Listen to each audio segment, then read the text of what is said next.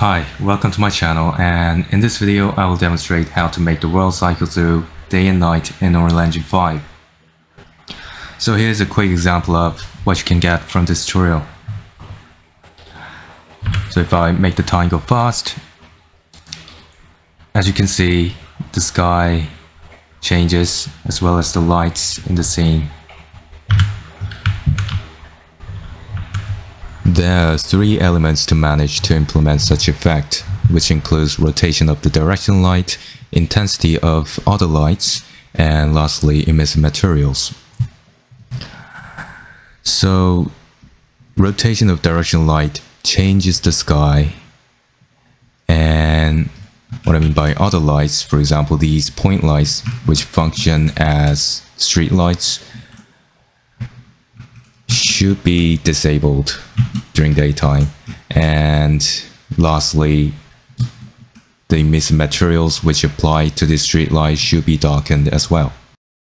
When you create a new project with one of the templates, you'll find directional light in Outliner. So let me select that and if we open level blueprint, we can drag this guy in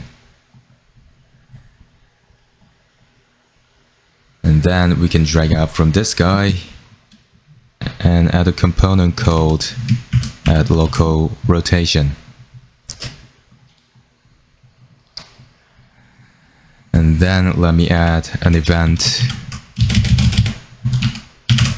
a tick event and connect this to this component.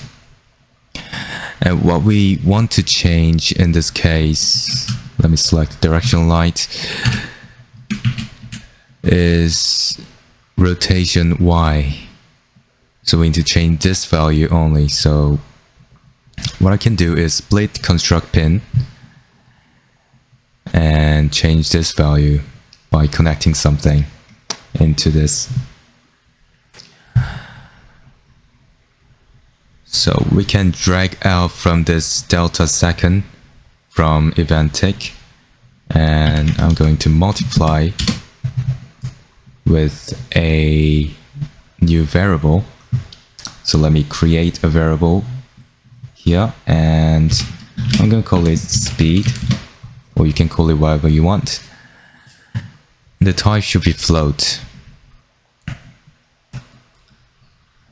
So let me drag the speed into the level blueprint and I can get speed and connect this to this multiply component.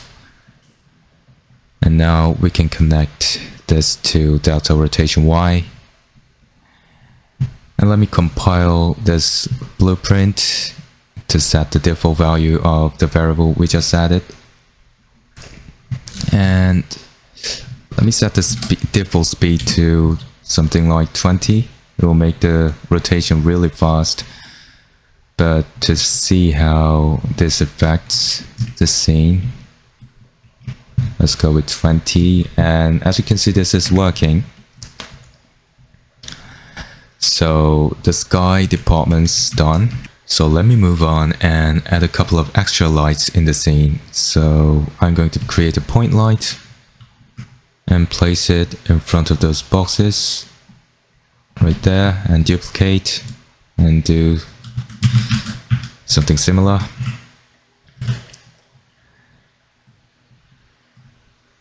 Okay.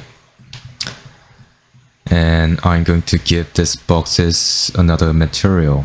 So let me create another material and let me call it m underscore lights and apply it to those boxes.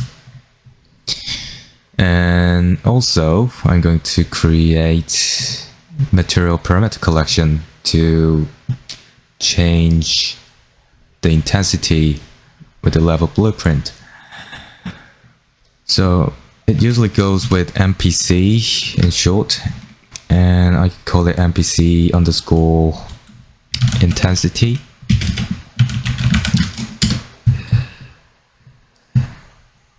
And if we open the new MPC, you can see there are scalar parameters and vector parameters, but what we need in this case would be scalar parameters. So let me add a new scalar parameter and we can set the default value there and also you can rename it to whatever you want. I'm just gonna call it intensity.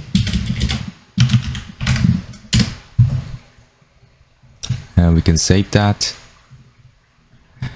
And now I'm going to open up the material editor and you can drag it, drag this parameter coll collection into the material editor so you can get it right away or otherwise you can type in parameter collection or just collection so you can get the same one. And you can select it manually. Anyways you can select which parameter you will get. So let me select intensity which we just added. And I can connect it to emissive color. And let me save that the default value of this parameter is zero so it is not going to do anything at the moment. So let me go back to level blueprint and this time we are dealing with multiple objects. So we can't just simply drag in and change whatever value we want to change.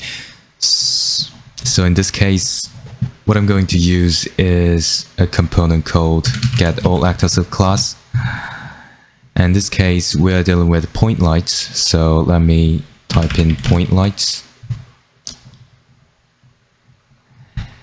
And we need for each loop and connect out actors to array. And from this array elements we can finally set intensity of those point lights so this these are the components that we're going to use to change the intensity depending on the rotation of the direction light. So now we have to add a condition for this to happen. So we can connect the true and false to those two group of components and what we need is the rotation of this guy so we can get ro get rotation get actor rotation actually.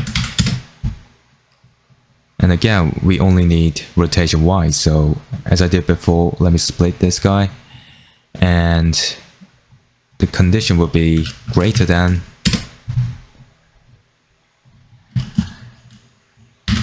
about minus 10 the value between 0 and minus 20 was okay for me, but it might be different in your condition, so... Anyways, let me just connect this to the condition, and also we should connect these guys as well. So when it's true, it means it's dark, so we should turn on the light so let's set the new intensity to somewhere about 20. So here's our test. As you can see, the light is now off, even though it was on in the editor. And when it's got dark, when it gets dark, it's on again.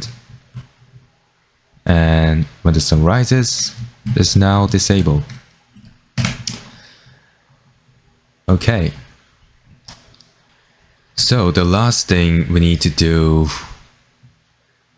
is to change the material parameter in level blueprint. So we can simply set parameter, I mean, not exactly sure what it's called was it set scalar parameter? Yeah, here we go. set scalar parameter value, and we can copy and paste. for the false condition and the collection would be the one we created and the value. When it's dark it should be above zero. And also we need to ch choose what parameter we want to change. So let's test this out.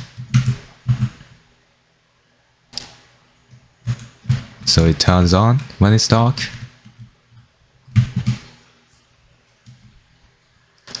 and it should turn off when it's bright.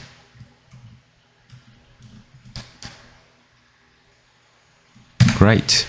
So what we did in this tutorial is we changed the rotation of the directional light which affects the sky and we extracted the rotation of that light to use as a condition to make the lights and the materials to change and yeah overall it's it's quite simple way to implement a day and night cycle. And you can probably use it for a massive city scene which I am working on at the moment. So yeah thank you for watching. And if this video was helpful please leave a comment like this video or even subscribe for more contests like this. So cheers